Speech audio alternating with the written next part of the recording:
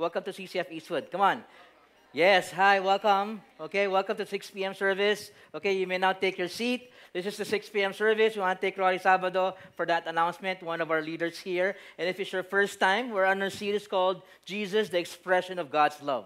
It's actually an overview in the book of Colossians. And for tonight, the message is very simple. Everybody, could you read the message? Live out. One more time. Yan, parang di pa tayo nagdi-dinner, pero okay lang. Okay, we're going to work that out. Okay? Live out God's best in your life.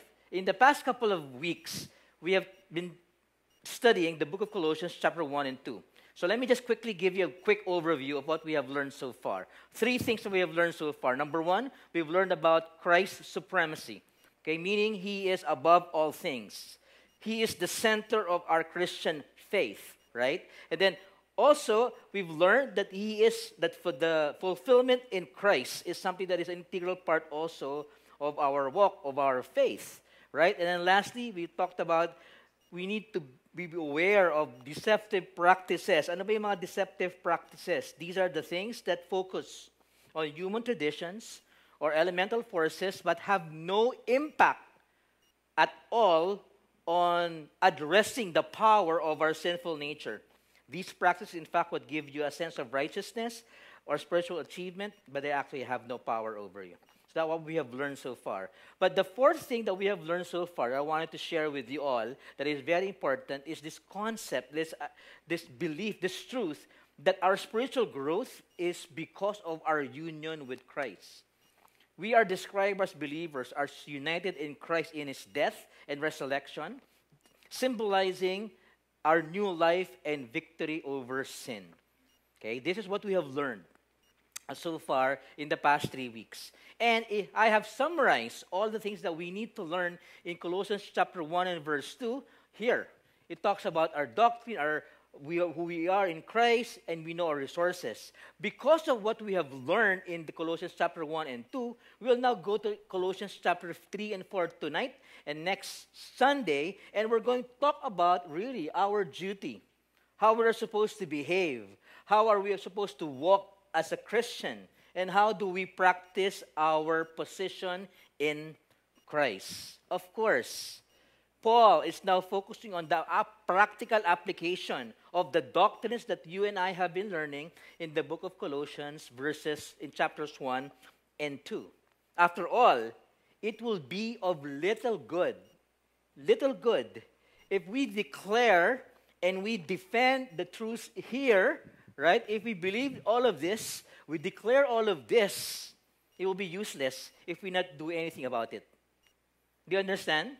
And that's why I want to share to you this, this, this, this statement.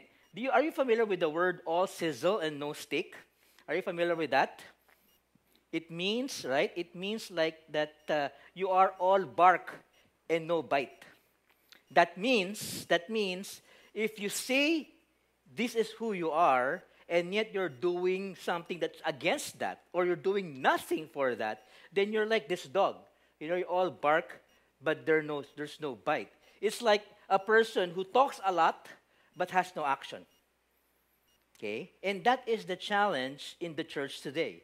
Specifically, after going into a, a very doctrinal, heavy topic on the book of Colossians, chapter 1 and 2, now we're to go into a practical application. You know, ito yung mga ano eh, no? Sabi nga na asawa ko, my wife said that, you know, talk is cheap. It's easy to talk, but it's hard really to apply right? And that's why when I look at this, when I look at the book of Colossians, if you have studied chapter 1 and 2 and you have understood what it means, right? It means, and you're not doing anything about it, then you're like these politicians. Alam ito ba mga politicians na to? Politicians with empty promises. Nakakita na ba kayo noon na may mga politician, maraming sinasabi, pero actually you're not doing something about it? That is exactly what Paul is talking about here in analogy in our context in the church, these are the people, these are the Christians who don't walk the talk. And that is going to be what Paul is trying to motivate his readers, the people in Colossae, that we need to understand what is our position in Christ. Because once we have learned our positions in Christ, which he has elaborated in chapter 1 and 2, Now, on chapter 3, what we need to do is we need to put into practice our life in Christ. And the sequence is very significant for all those of you who are joining us in CCF, where we really want to let you understand what the Word of God is saying. Very importante po yung, yung, pros, yung, yung procedure.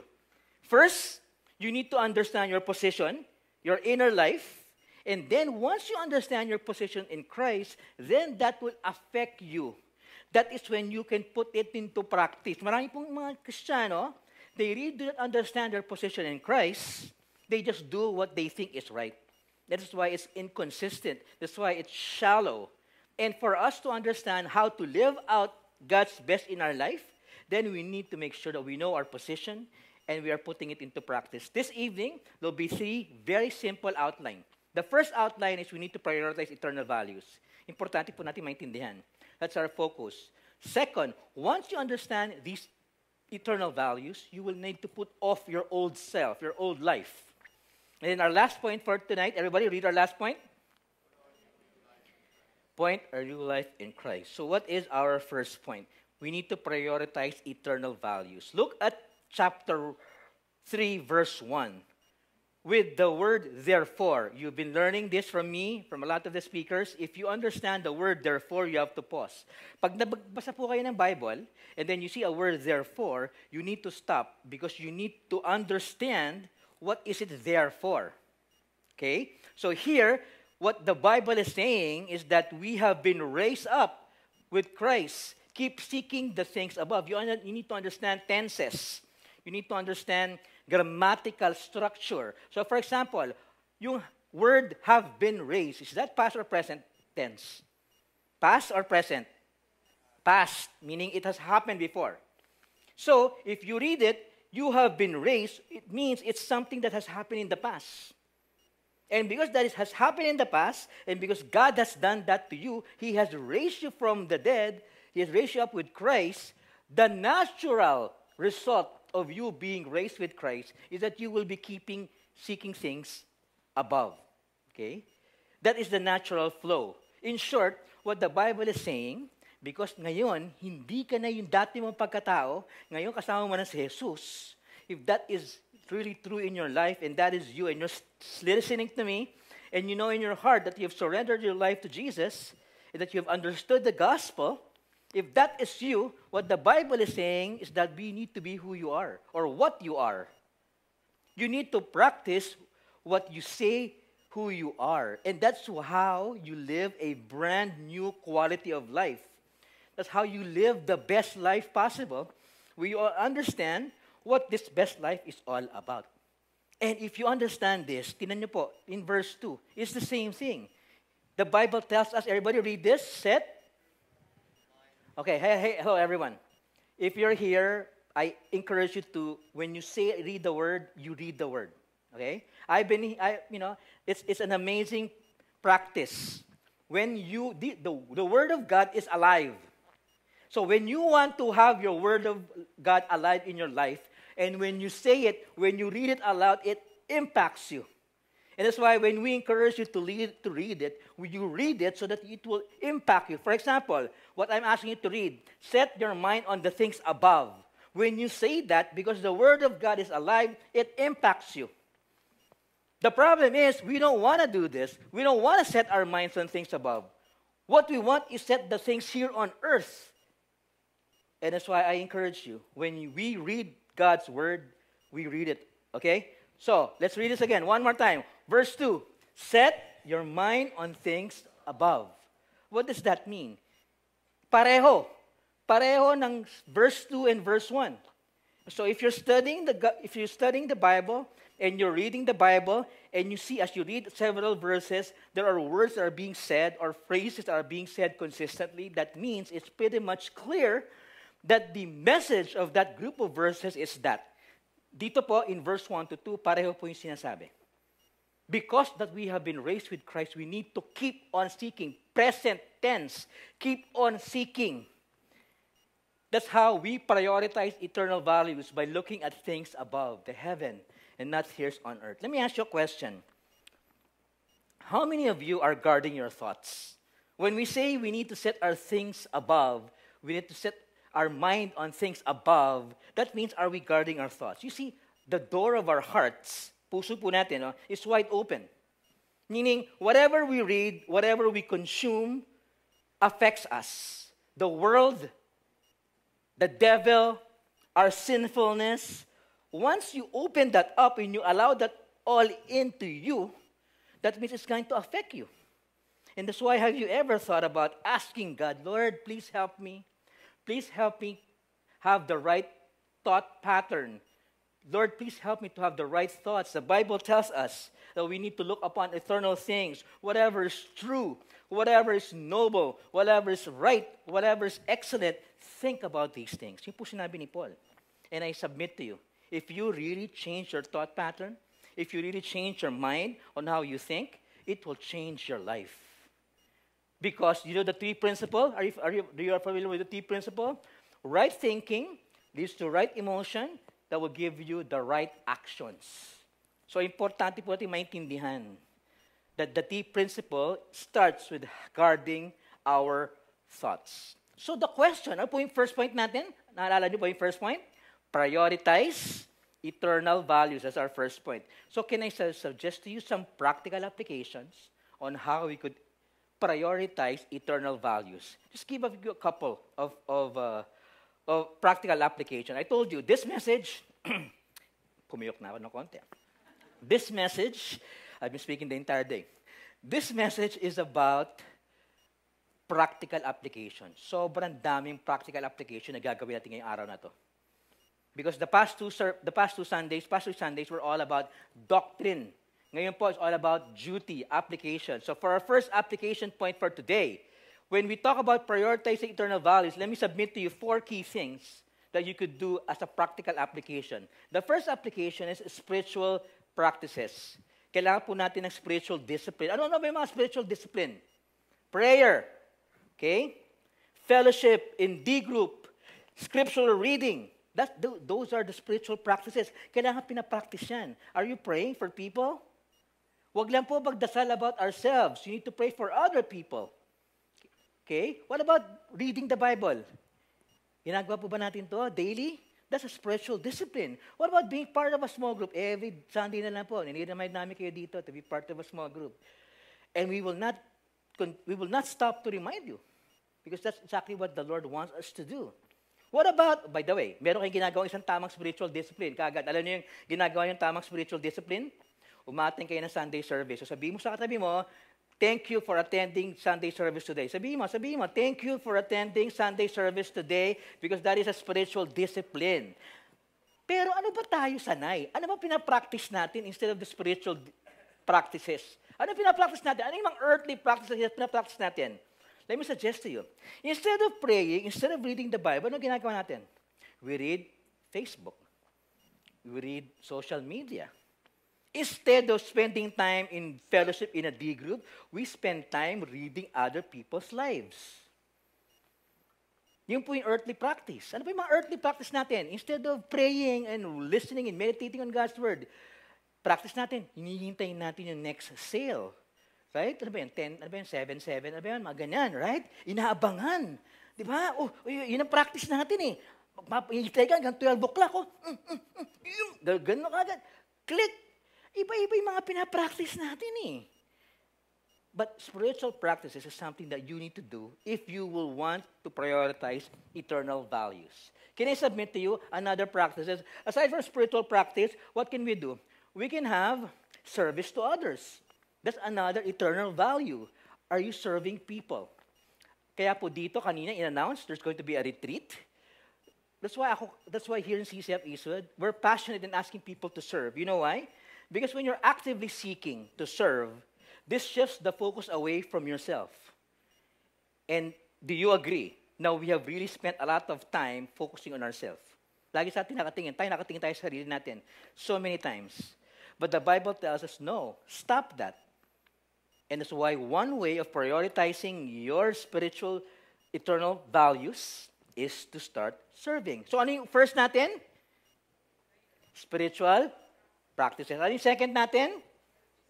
Ito po yung pangatlo natin. Okay, the third is salamat attitude. Kailangan kasi S eh. So, kailangan salamat, okay? Sala, imbes na gratitude. Maganda sana gratitude, pero hindi eso. Salamat attitude po tayo. This is something, another prioritization of our eternal values. The desire to be thankful. Gratefulness. Uh, ba't po importante ito? Kasi a salamat attitude means you are going to choke, to choke. You're going to kill your critical spirit. Yan ang, yan ang eternal values. Be able to be have a thankful heart. For example, bigyan ko kayo ng example, ha? Na ba kayo ng, na-invite na ba kayo sa birthday party? Okay, na-invite na ba kayo sa kasal? Sa kasal or birthday party? Ito, ito example ng walang salamat attitude, ha? Oh, did you go to the birthday party of our friend, Ikoy De Leon? Ito, ito normal sinasabi ng mga tao. Oo nga, pero alam mo, hindi masarap yung pagkain. Di ba? I mean, ang dami-dami natin pwedeng sabihin, pero yung kagad sabihin, hindi masarap yung pagkain. Walang salamat attitude. In-invite ka na nga, nag-complain ka pa. O kaya sa bahay naman, sa bahay, Honey, honey, oh, tinan mo itong pagkain, ang sarap-sarap na luto kasi nilutuan ka ng pagkain, ng dinner. Kain ka ngayon. Lata naman ang kanin. The, cynicism, the attitude. O ito pa, isa, nasa traffic ka. Wala ka salamat attitude, nasa traffic ka. Sobra naman itong traffic, traffic dito, nakakaasar. Pero naka-aircon ka. Bago yung kotse mo, or may sasakyan ka, okay. Tingin ka sa kabila, lahat nakas- nakasabit sa jeepney. Wala, ibig sabihin, mag-complain ka sa, pag, sa mga traffic, magpasalamat ka nga, nasa kotse ka eh. Or nasa grab ka, or whatever you are. Cultivate a salamat attitude. Stop complaining. Stop complaining. Because that's not eternal perspective. Okay, ano po yung tatlo natin so far? Salamat attitude, spiritual practices, service to other. Ano yung fourth S na sasuggest ko sa inyo about having eternal value? Set goals. Kailangan kayo mag-set ng goals. You need to plan out. Kailangan maging serious. Kailangan magkaroon ng action plan to become more Christ-like. To have the eternal values. Let me give you an example of how you can set goal. Set goal to read the Bible in one year. Meron na ba nakabasa rito ng Bible? Ng buong book, cover to cover? Set mo as your goal yan. What about attending a GLC class? Set mo as a goal yan. By the way, I know by faith that as I'm challenging you with these thoughts, the Lord is planting something in your heart. Huwag mong itapon yan. Huwag mong itago yan. Whatever God is putting in your heart right now to do, to set a goal, do it. Huwag bukas, tonight, gawin mo na. Kasi bukas, hindi mo na gagawin yan. So whatever the Holy Spirit is putting in your heart right now, whatever that is, in setting a goal, you do it. Can I say to you something? While I was preparing for this message, I've set a goal. Gumawa ko ng social experiment. Sino po ang social experiment ko? Yung asawa ko. Buti na lang, wala siya dito. Okay? as I was preparing for two weeks for this, the Lord impressed upon my heart, gumawa ka nga ng something experiment. So nag-experiment ako for two whole weeks. Hindi po ako magde-demand. Magbibigay po ako ng grace, ng grace sa mga tao. Pangatlo, hindi po ako mafa-frustrate. Yan. Godly yun kasi alam ko madali ako ma-frustrate eh. Dati sa asawa ko, madali ako mag-demand eh. So ngayon, for two weeks, hindi ako magde-demand. So tinest ng Panginoon to in my second week, last Thursday lang. Last Thursday, it was a very long day for me. I started in the morning. I had an alignment meeting in the evening from 6 to 7. And then after my alignment meeting, whole day, dire-diretso yung meeting ko. Ah. Alignment meeting 6 to 7. After the 7 o'clock, nung sa alignment meeting Pastor Peter decided to have a one-on-one on me on the spot. So nag-one-on-one kami for another 45 minutes hanggang 7.45. Pagdating ng 7.45, I only have a couple of minutes, meron na akong Go Viral D Group online that I'm also going to teach.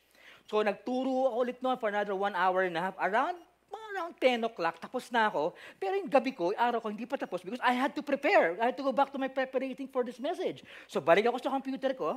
Okay, I was doing it, and all of a sudden, my wonderful, beautiful wife came up to me and said, Honey, kasi meron, kahapon kasi, Saturday, there was a big conference, Women to Women, in Maine. She gave a testimony. So lumapit siya sasabi niya, Honey, can you please edit my testimony? I'm so anxious already. Please edit mo naman to. So syempre, sabi ko, Honey, I, have a, I had a whole day. Would it be okay if I can just do that tomorrow, bukas na lang? Right? Friday. Sabi ko sa kanya. Ah, sabi ng misis ko sa akin ganito. Ah, okay. Naintindihan ko na po ang mga babae, kadalasan. Pag sinabi nilang, ah, okay, that means hindi okay. So sabi ko, oh, okay, my wife, na mommy, and I remembered the social experiment, give grace, do not demand. So ginawa ko po, ginawa ko yung inedit ko. Inedit ko nung Huwebes. Pagod na pagod na ako. Inedit ko, natapos ko ng 11. At na- na-realize ko, grace, bigyan mo ng grace. Bigyan mo pa ng extra. Sabi ko, honey, this is the edited. Tapos na yan. Pero tomorrow, when you wake up at Friday, tomorrow over breakfast, we will go over it again. And then if you feel there's something to edit more, we will edit it tomorrow. So ano yung point? Ere pa pala isang kwento. Kahapon, kaya yesterday I was in Manila, okay?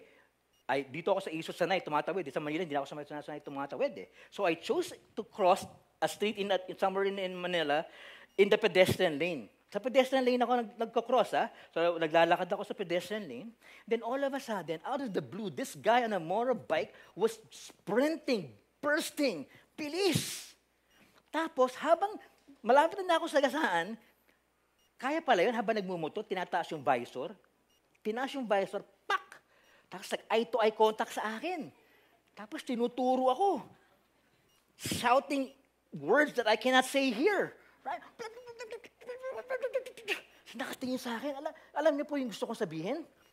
Teka, nasa pedestrian lane ako. I am the priority. Gusto ko sana sigawan din na nasa niya. Tama ako. Pero sabi ko, teka muna. Social experiment. Grace. So habang nakatingin siya sa akin, habang mabilis na gumagano, kaya pala yung gumagano habang umumotor, ha? Nakatingin sa akin, hindi nakatingin sa sa sabi ko, What's my point? My point in all this social experiment is that I had the choice. You all have a choice. So when you say you want to prioritize eternal values, you can actually do that. Why? Why can you do that? Because you have been raised from the dead, from Christ. You have been raised. And because you have been raised, you are now what? Look, for everybody, verse 3. One, two, three, go. You have died, and your life is hidden. The biblical theology of this is not substitution, it's identification, meaning your life is no longer identified. It's now Christ. You find this in Galatians chapter 2. It's no longer I, but Christ who lives in me. It's the total identification that you need to understand. If I am now have died, and now my life is hidden with Christ, then therefore I have the power in Christ in me to do these things for His honor and for His glory.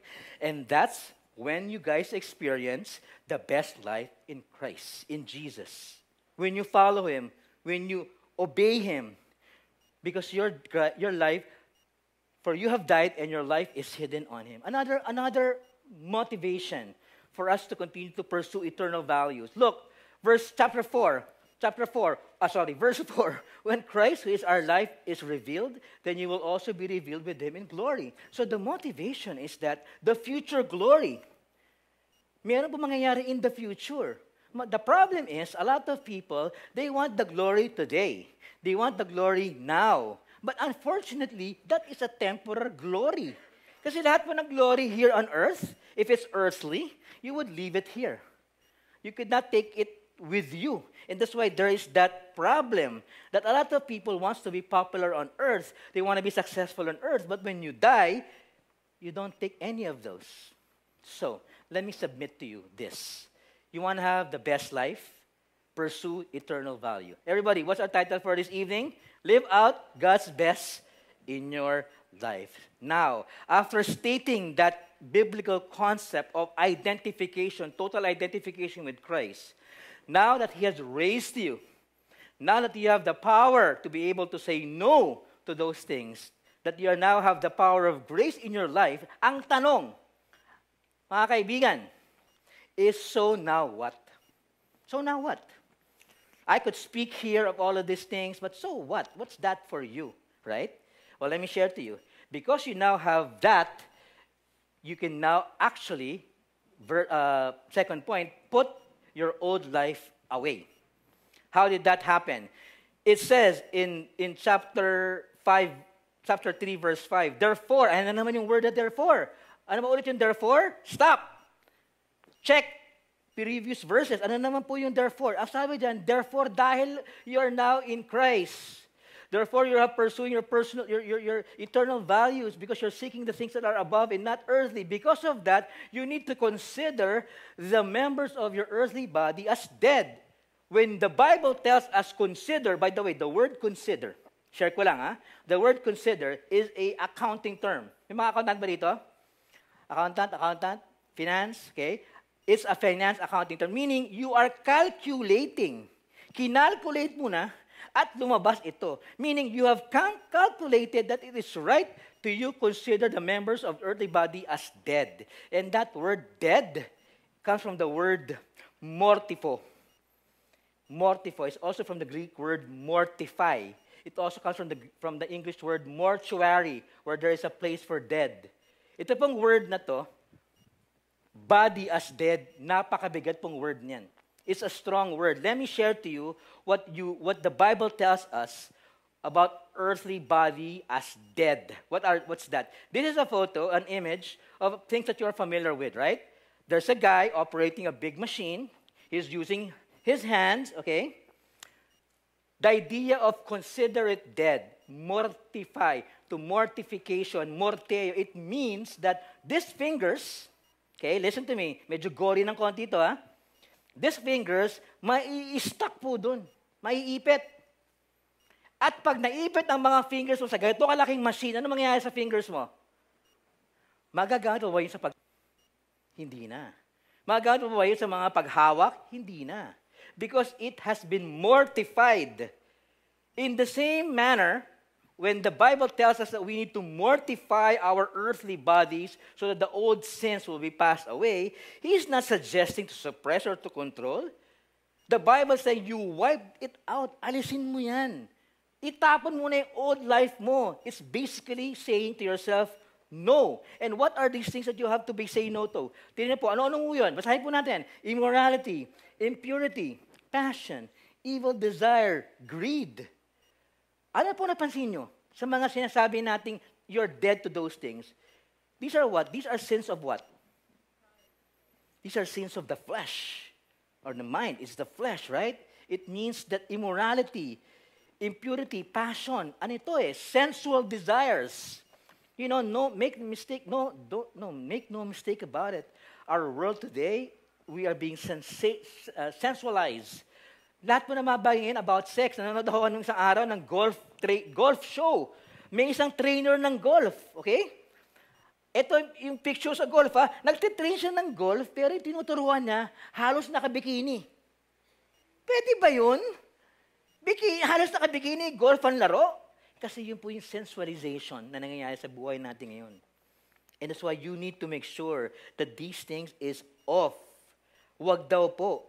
The desires of the flesh, the old selves become more that you desire. Bakit daw sa naging idolatry?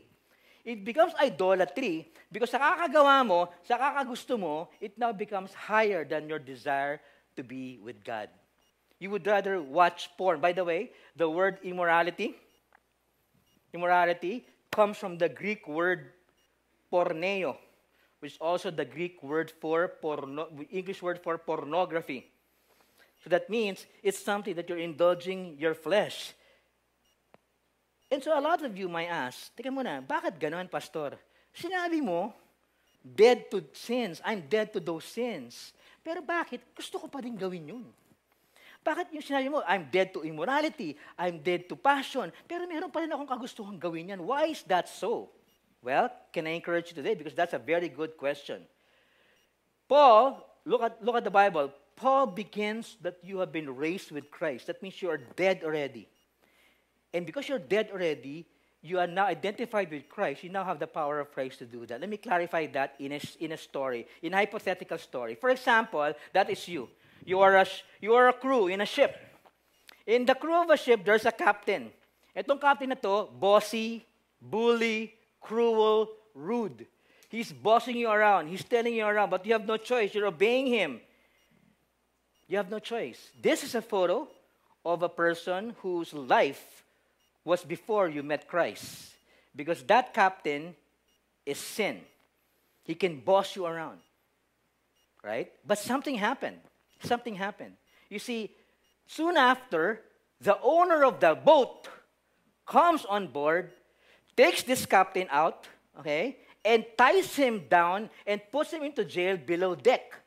And not only that, he gives in a new captain. This new captain is a good captain. He's loving, he's supportive, he has grace, he is a good leader, he's a shepherd, you know, and that new captain is Jesus Christ in your life. And this is a picture of a person who now have Christ in his heart.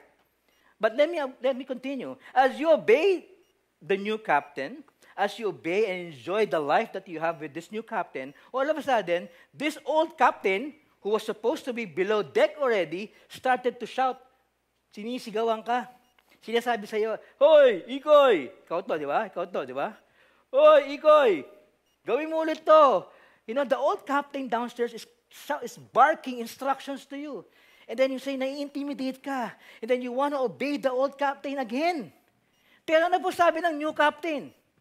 Sabi ng new captain, Ikoy, huwag mo nang pansinin na nasa baba na yan. Wala nang effect sa'yo yan. He's dead to you and you're dead to him. I have already rendered him powerless. This is the story of a lot of Christians. Because they feel that they still need to sin. Wala na po yun. I know a lot of you, it's a tug of war. I know a lot of you, it's a tug of war. You struggle. The old life tells you to do something and you want to obey. But when the old life tells you to do something, you say no. You see, no believer, let me repeat, no believer has to sin. No believer has to sin. You don't have to. We sin because we don't have a choice. We sin because we want to if you're a believer. So you now have a choice. So what is our second point for tonight? Put off your old life. Alisin mo na yun. Take it out. You know, take it out. Because not only should you pursue eternal perspective and values, but also look, there's a consequence. In verse 6, for it is because of these things, meaning all of that that was mentioned above, that the wrath of God will be upon the sons of disobedience. You see, when you experience the wrath of God, that means you are at war with God. Yun po yung sabihin nun. Kalaban mo ang Panginoon. And you don't want to do that because there are consequences of that. That's why it's serious.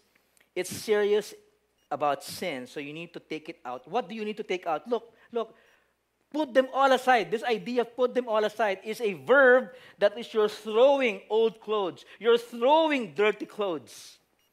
Anger, wrath, malice, slander, abusive speech. Now, Paul is introducing an image of putting off your old clothes.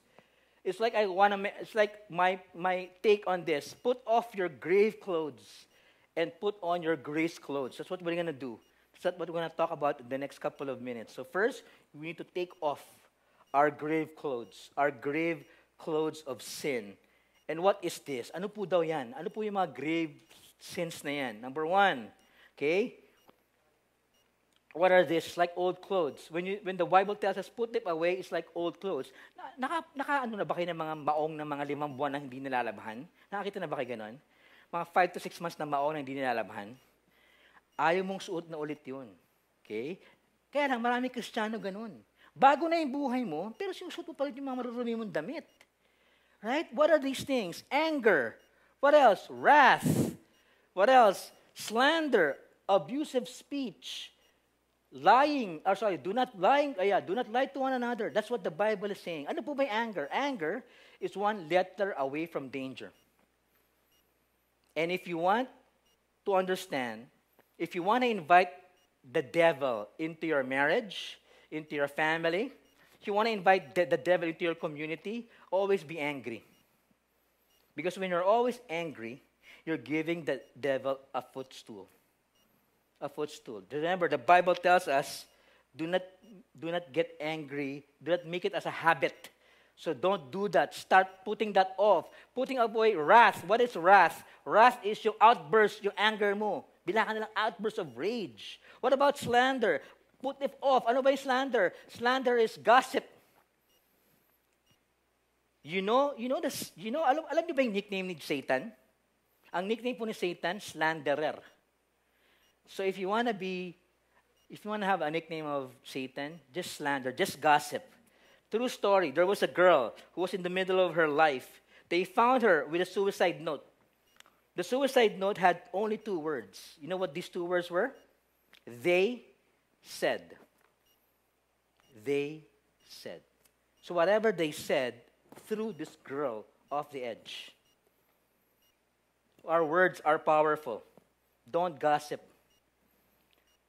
Don't gossip. Let's dis- uh, I like what one pastor said. Let's dismiss the chismis. You dismiss the chismis. Okay? What about abusive speech? What about abusive speech? Abusive speech is words coming out of your mouth, pero yung desire na gusto lumabas sa bibig mo is to hurt someone. You see, there are words that are coming out of our mouth. Words to encourage, words to rebuke, words to remind, words to teach. But abusive speech is when words that are coming out of your mouth is designed to hurt. Kasi mali yung puso. Yung puso galit eh. So kailangan mali ang lumalabas tuloy. Kailangan masaktan ka. Right? And the sad part is the common recipient of our abusive speech is our family. It's our wife. It's our husband. It's our children. You know? It's your pastor. Hindi, loko lang. You know? It's, it's, they, are the, ano eh, they are the recipient eh. And look, do not lie to one another. Rid yourself of lying. You know, Satan is the father of all lies. So when you are lying, you're more like him. But be like Jesus. Don't be like Satan. Be like Jesus. Jesus said, I am the way, the truth, and the life. So again, put off your old clothes, your grave clothes. And lastly, on putting it off, look at this. On lastly, putting it off, it says, when you put on the new self which being renewed to a true knowledge according to the image of the one who created it, a renewal in which there is no distinction Regeneration brings equality. Kaya po sa simbahan, sa, sa simbahan, hindi po tayo lahat equal eh. Of course, may mga, mga may, may mas mentally sharp, may mas mas uh, mas, mas ano ang mas bigger responsibility, iba naman mas angat sa social strata, yung iba medyo below the social strata. It doesn't matter. The Christian church should have no barriers. For Christ breaks down all barriers. Tama? Wala po dapat. Let, let us Christians start building bridges rather than building walls. Kaya if you're here and you're building walls, stop it. You need to bridge people. Hindi pwedeng kayo dyan, dito kami. Hindi po pwedeng ganun. Because that's not what the, what, the, what the Word of God is saying. Again, what do we need to do? Put off our grave clothes and put on our grace clothes. So I'm, let me ask you a question. Have we taken off our grave clothes? The grave clothes of sin. Well, it's now time to put that off. And before I go to our final point for tonight, I want, to I want you to listen to a testimony about how this guy has put off his old clothes, grave clothes, and has put on the grave clothes. Everybody, can we all welcome my brother and our brother? Good morning. I'm Jet Kalosing, a follower and servant of our Lord Jesus Christ. When I was 15 years old, I had my first sexual experience with a prostitute. At this age, I learned to smoke, drink alcohol, and use drugs. While in college, I joined the fraternity and was exposed to a more liberated and carefree environment. Partying, drinking, smoking, drug use, gambling, and sex were all part of my daily life. Violence was also included since we would often get into bar fights and rumbles. I would even sneak out my dad's guns and ammunition whenever we had rumbles since my dad was a former military officer then. It was also during this time when I met my first girlfriend. Sex and pornography became part of my daily life. This was also the time wherein my drug usage became worse. Although she didn't use drugs, I used and abused her to fulfill my sexual fantasies. My drug use became worse as I got addicted to shabu. I wouldn't sleep for days, weeks even. I would combine different drugs shabu with marijuana, with LSD, with hashes. Soon I would find myself flunking all of my exams and dropping all of my subjects. I was then dismissed from the UP College of Engineering, which led me to stop studying. My downward spiral continued. I would also get more addicted to gambling and would frequent casinos everywhere. I would steal stuff from our house and steal from my parents just to satisfy all of my addictions. My parents sent me to our province for me to finish my engineering degree. I graduated and made my way back to Manila.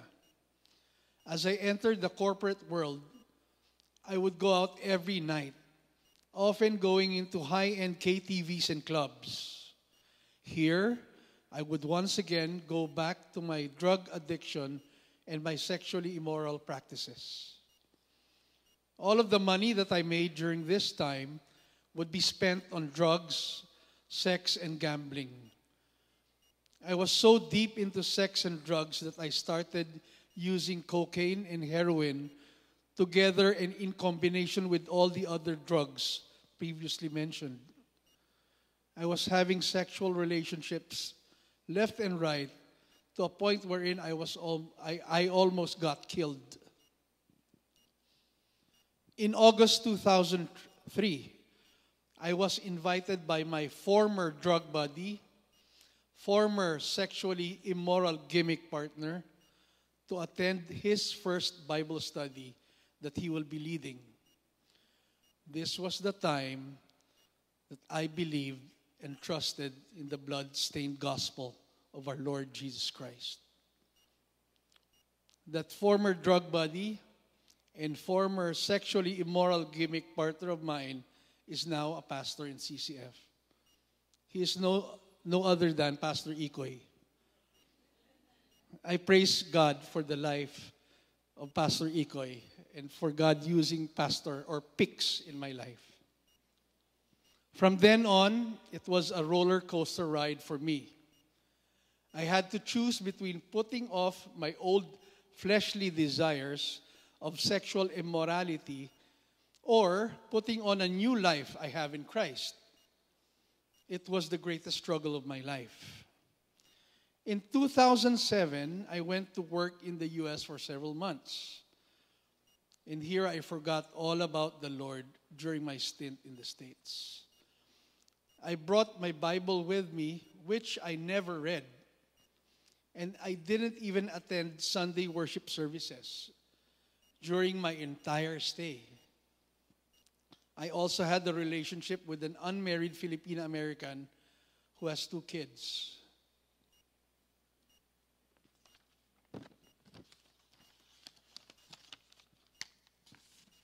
I was again I was again on board that sinking ship.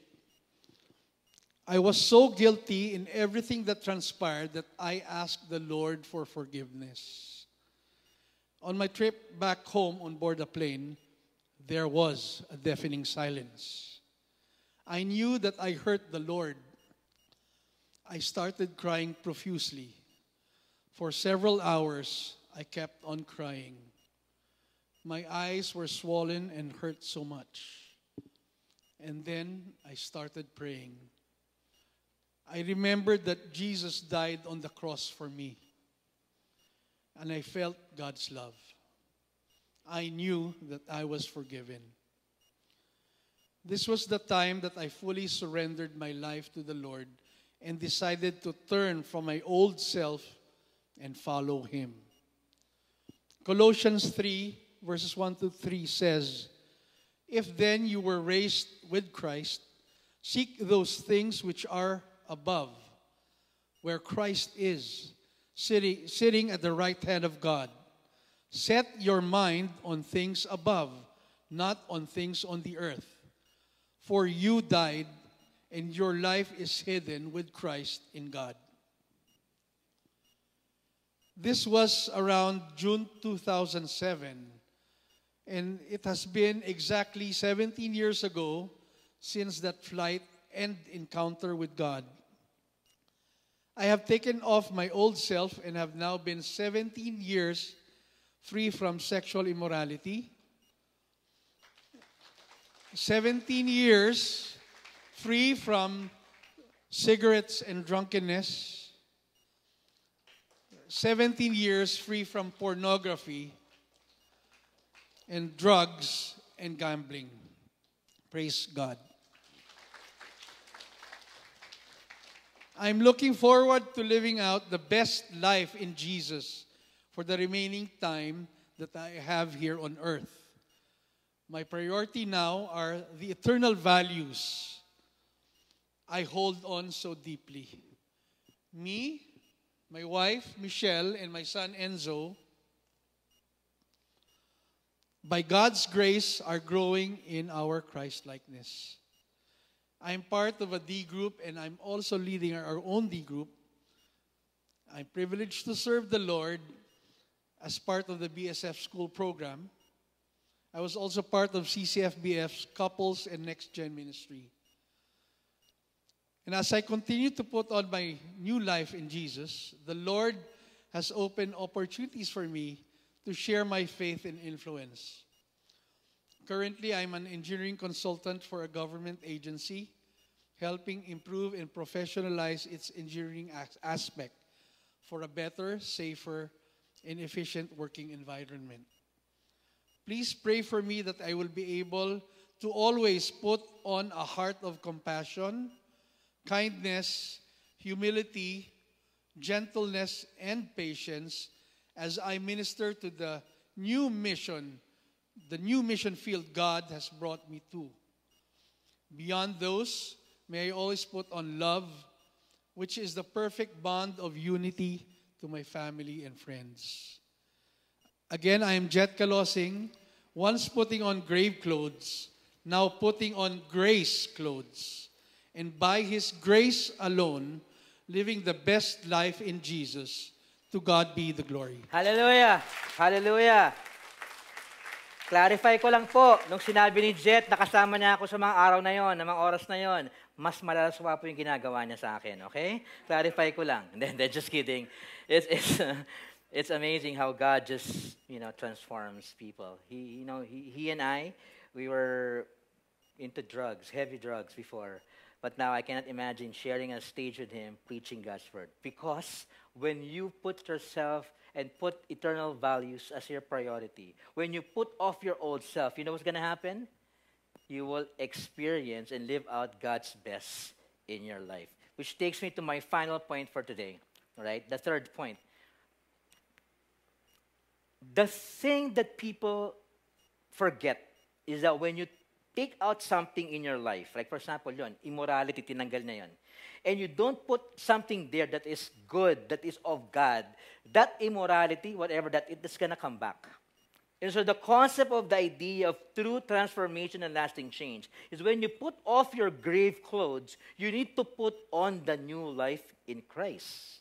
And that's why the Bible tells us in verse 12 look, we have been chosen. You have been chosen.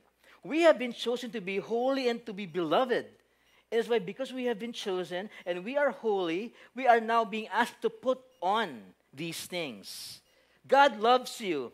He is for you. He is for us. He is on our side. We did not make ourselves holy. God made that to us.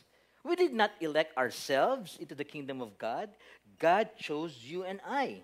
And that's why what happens is that when you put your faith in Jesus, you enter into this new status with God, this new position with God.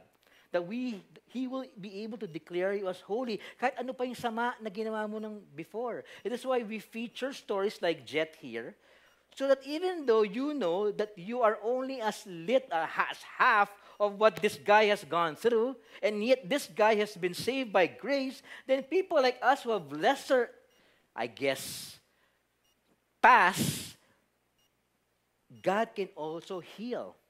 And that's why the, com- the, the command is put on. Put on is the command. It means to put on a new spiritual wardrobe. It is a decisive decision. To put on means to live it out. Live Christ, this new life that you have. And by the way, have you noticed? Kanina, it was what you put off are matters of the heart. What you put on are matters and characteristics of good relationships. Okay? So in your marriage, in your family, in whatever relationships you are in, you need to have you need to show a heart, you need to put on a heart of compassion, kindness, humility, etc., etc. It means to put on this new life that you have in Christ. When the Bible talks about compassion, it's about pity. It's about sympathy. It's about being sensitive towards others. It's about sensitive to uh, those who are, having, who are suffering. The word compassion here is the same word used in, in, in the Good Samaritan. Remember the Good Samaritan? The Good Samaritan, the Good Samaritan chose not to, not to cross the street. Other people chose to cross the street. Walang compassion eh. But the Good Samaritan had the compassion. He need to went through that. He went and, and served that person. And that means when you are when, you, when you are compassionate, that means you look people around you where you could actually help, especially those who are suffering. Another thing that we need to put on is kindness. This, this is interesting. The original word kindness is chrestos. The original word for Christ is Christos. So Christos and Christos are similarly identical, and I submit to you, the reason they're similarly identical, because Jesus and kindness is identical. When you are being kind, you are being more like Christ. Kindness means good. Kindness of the heart. So let me ask you, kamusta naman po ang puso natin when it comes to security guard? When it comes to waiters or servers or our grab driver na nalilate or yung grab delivery guy na gusto 10 seconds lang, nakababa ka na ng 25 floors para kunin yung delivery. Asan ka na? Asan ka na po kayo, sir? I mean, how, how do you react? Do you react? Teka muna, 10 seconds ka pa na. Ganun ba ang reaction mo? Treat them with kindness. What about humility?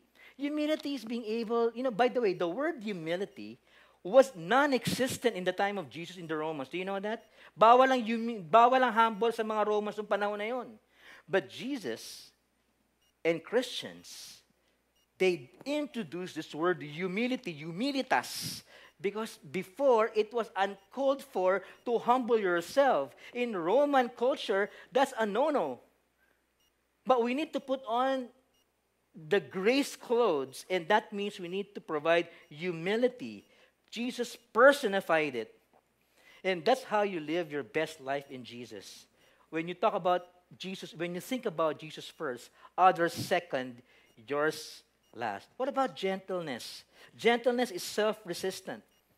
By the way, being gentle is not being soft, okay? Marami pong isip, ay malambot. No, no, gentleness is not soft.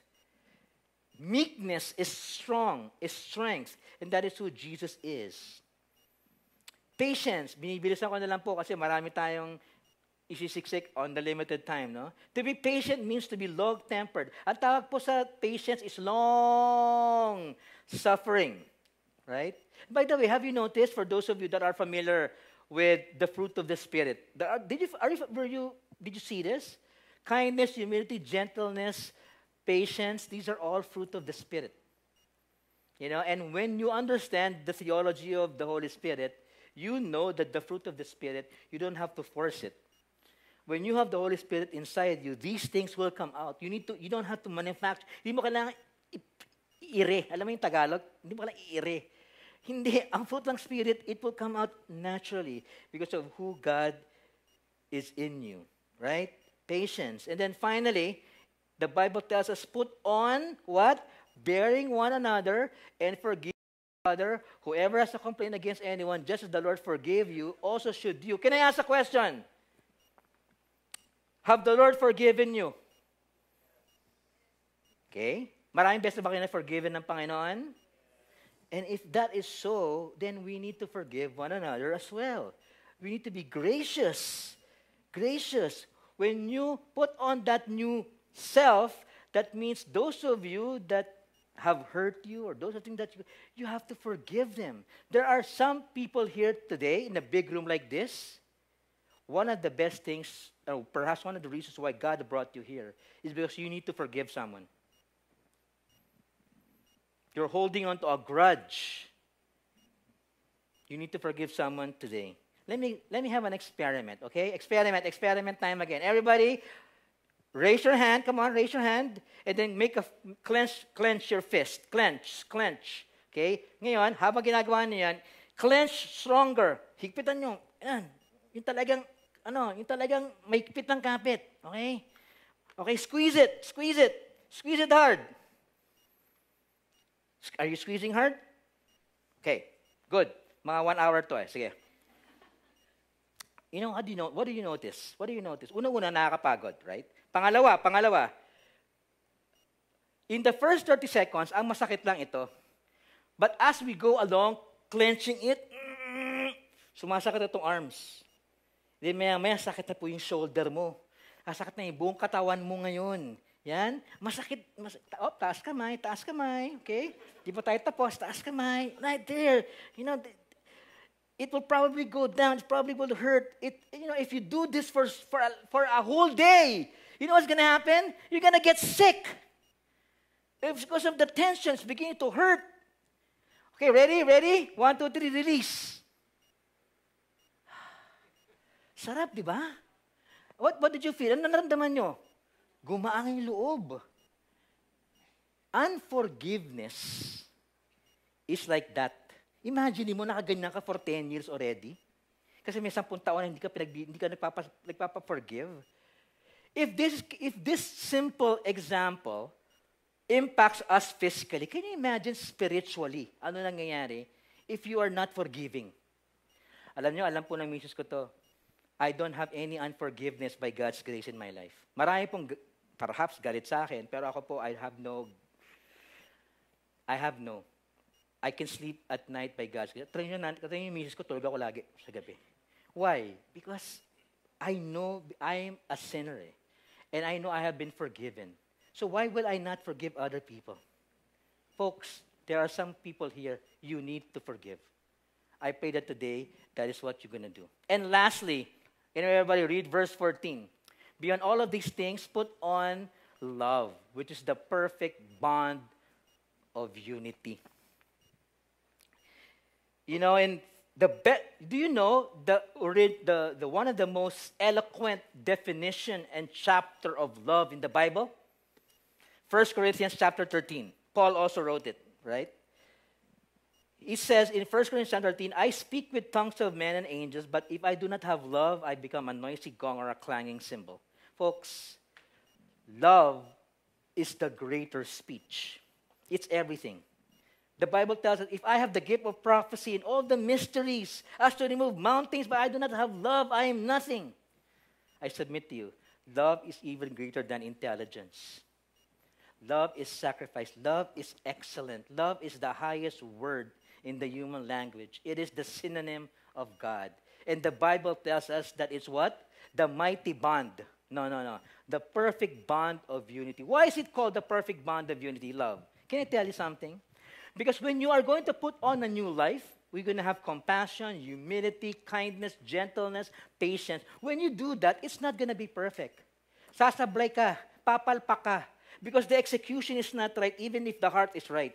But the beauty of this is that when the motivation comes from the angle of love, ano mangyayari? it's all going to be okay.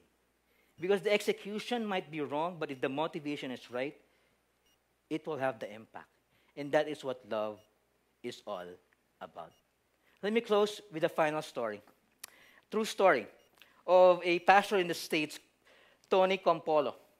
Pastor Tony, he was flying from Hawaii for a conference. He was coming from the East Coast, and there's like about five hour differentiate, uh, uh, five hour time difference. Okay, so when Pastor Tony arrived in Hawaii, he slept, and then he woke up around three in the morning, hungry, and couldn't sleep anymore. So he decided to go out of his hotel, and in front of his hotel was a diner, something similar to this, still open. And so he went in, okay, he asked the guy behind the counter when he came over and said, Hey, can I have a cup of coffee and donut? So the guy took out the donut, gave him, and poured him a cup of coffee. And so while Pastor Tony was eating and eating the donut and drinking coffee at exactly around 3.30 in the morning, the diner doors burst open. And eight to nine boisterous prostitutes that are wearing flimsy outfits came into the diner. Pastor Tony said, I am completely out of place. Right? I'm completely, bigla siya, ba't may mga prostitute dito? So sabi niya, sama pa ng mga suot, right? I mean, malalaswa ang suot. And so before he finished his coffee, he said, Teka, escape na ako dito because I don't want to want to scene here. But when he was about to walk out, the girl seated beside him, it's a small bar, started to share, hey, to the other prostitutes, hey, it's my birthday tomorrow. It's my 39th birthday tomorrow. The other girls started to sneer at this girl who said it's his birthday. One of the girls said, Why? Do you want us to buy you cake? Another girl said, Why are you saying it's your birthday? Do you want us to throw a party for you? And another person said, Why? Do you want us to buy gifts for you? And then the lady who said it was his birthday said, Why you, I, why are you guys so mean to me? I just wanted to say it's my birthday tomorrow. I have never expected anything. You know why? Because for 38 years, I have never gotten a birthday party. I have never gotten a birthday cake and never even remembers me in my birthday. And so when Pastor Tony overheard that, instead of leaving, he stayed. He stayed behind until all of the ladies started to pile out at 4 o'clock in the morning. And so when all the ladies left, Pastor Tony went to the guy at the back. The guy's name was Harry. And he said, Hey, Harry, did those, are those girls coming here often? And then Harry said, Yeah, every night. Even the girl standing beside me, the one's going to have who's the one's going to celebrate her birthday tomorrow. Oh yeah, that girl. That girl's name is Agnes. She's always here every night at 3:30 in the morning. And Pastor Tony said, "Hey, why don't we do this? Why don't I come back tomorrow morning, surprise her, bring a cake, and then sing a happy birthday song?" What do you What do you think about that idea? Harry suddenly started to open his eyes and called off his wife and said, Hey, honey, hey, there's this guy here who wants to throw a party for Agnes. Is that okay? So wasn't that a great idea? And then the wife said, Yeah, that's a great idea. And so all of them agreed. And so Pastor Tony said, Hey, okay, I'm going to come back here tomorrow, 3 o'clock. I'm going to set the place up. I'm going to bring a cake. And then Harry said, No, no, no, no, no. You're not going to bring a cake. That's my part. I'm going to bake the cake. And so true enough, Pastor Tony went home, and the next day, around 2.30, before 3, he went back. He, he put a cardboard sign, happy birthday, and he put, and they were all ready, you know. And Pastor Pastor Tony's surprise, at around 2.30, 2.35, the place was packed. Sinabi yata nung asawa na magpapakain na libre. So everybody started to go there. All the prostitutes, they were all there inside the place wall to wall. And at 3.30 in the morning, at the dot, the door opened, swung in, open, and Agnes saw it, and they started to shout, and they started to sing a happy birthday song. And Pastor Tony, as he was writing this, he, he couldn't he couldn't describe the flabbergasted face of Agnes. She was just so surprised. She was so taken back that somebody's giving her a surprise party. Her weeks you know, wobbled. She had to hold on to someone. And they had to start singing her songs. And she started crying. And then Harry, Harry who baked the cake, went out and gave the cake to her. And she sat down. And while they were singing a happy birthday song, Agnes kept on crying, crying, and crying. It's kind of awkward. And so Harry went out and said, Hey, Agnes, here's the knife. Cut the cake so we can all eat it. Still, no reply from Agnes. Crying, sobbing. And then Harry said, Okay, if you're not gonna cut it, I'll cut it. Because I wanna eat. He was trying to lessen the situation. But when he's about to cut the cake, Harry saw the eyes of Agnes still fixated on the cake in deep thought. And so Harry, out of the blue, said, Hey, Agnes, hey, we don't have to cut the cake. You want the cake? You could bring home the cake. And then Agnes, after hearing that, start stop sobbing. Then look at Harry, and then he said, Really? I can take home this cake? I just live down down the street, and there are people there who have never tasted the birthday cake. Can I? Can I? And then Harry said, Yeah, you could. And so Agnes stood up out of the blue, left the party, went down the street, and everybody in the room stood silent. They didn't know what happened. Where is Agnes going? Right? And then Pastor Tony, in his memoir, said, Looking back, it seems rather strange for a pastor to be leading a prayer meeting with a bunch of prostitutes at 3:30 in the morning in Honolulu. But it was the right thing to do. And so when everybody, when, when Agnes left and everybody was silent, he just shouted out, Hey guys, why don't we all huddle? And why don't we pray for Agnes? And so Pastor Tony started to pray for Agnes. He prayed for her salvation. He prayed that her life would change and that God would be good to her. And so when when when Pastor Tony start, stopped finishing his prayer and everybody started to lighten up, Harry, the guy, the kitchen guy, came to Pastor Tony and said, with a sneer in his voice, Hey, you didn't tell me you were a preacher. And he goes, By the way, where's your church? Harry said. Pastor Tony, the, Bible, the Holy Spirit just gave him the right words to say. He said, You know, my church is a church that throws birthday parties for prostitutes at 3.30 in the morning. Harry waited for a moment. He didn't answer anything. Then finally Harry said, No, you don't. There's no there's no church like that.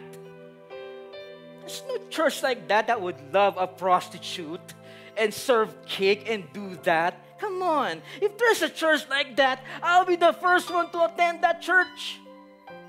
Because I have never attended my church in my whole life. And Pastor Tony said, Yes, I know. Because I too would attend that church. You see, love is the most powerful emotion that we can have. God is love. And when we express that love without expecting anything in return, that's when the love becomes sincere. That's when the love becomes genuine. And that's when lives change. So, I don't know what you guys are going through in your family, in your marriages, in your children, in your community, in your life, in your legal, in your church, wherever it is, in your workplace. But can I encourage you? Can I encourage you? Wouldn't we love to be a part of a church or a family that reach out into the darkness? Wouldn't you want to be part of a church where brothers and sisters put a new love, put a new life and love, and show people who Christ is? Because when you do that, truly, Jesus becomes the expression of God's love. Wouldn't you want your marriage, wouldn't you want, wouldn't you want your husband and your wife to forgive and to say, hey, you know, we've done something in the past that is bad, not right, but today I choose to just let that go and just embrace each other in love. You know when that happens and when we do that, we express the love of God, Jesus Christ, to the world. When we reach beyond our comfort zone and we reach past what is not easy, the world will see Jesus Christ, the expression of God's love to all of us. And when we realize that the church is not a museum for saints, but a hospital for sinners, you know, this 6 p.m. crowd, you will bring more people here because you have experienced the true love of Christ. And that is the expression of God's love. And folks, when we put off our grave clothes and we put on our grace clothes, we'll be able to live the best life in Christ. My prayer is that you all, we all, experience that. Experience the grace of God so we could truly love other people the way God has loved us. Can you pray with me? Lord Jesus, we, we need to love more. We need to really have that in our lives. And Lord, you said in Colossians chapter 3 that when we do have you, we let the peace of you, Jesus, rule in our hearts. And when we have that peace that rules in our hearts, you are called us to be in this one body, which is you. Lord, we become thankful. And so tonight, we just want to thank you as we end our message today. Thank you for the love, Lord Jesus. Thank you for reaching out to us. Thank you for dying on the cross and paying for all of our sins. Thank you for all doing that because you want us to be with you. And my prayer, oh Lord, that today, as we pray to live out your best in our life, help us to prioritize eternal values. Help us to put off our old self and help us tonight to put on our new self in Jesus. Because, Lord, when we do that, we not experience the best of our life, but we also express the best in our life, which is you, Jesus, the ultimate expression of God's love. We thank you, we praise you as we lift up to you, Lord, all of these things. In Jesus' mighty name we pray, and all God's people said, Amen and amen. God bless you, everyone. I'll see you guys next week. Thank you for joining us this evening with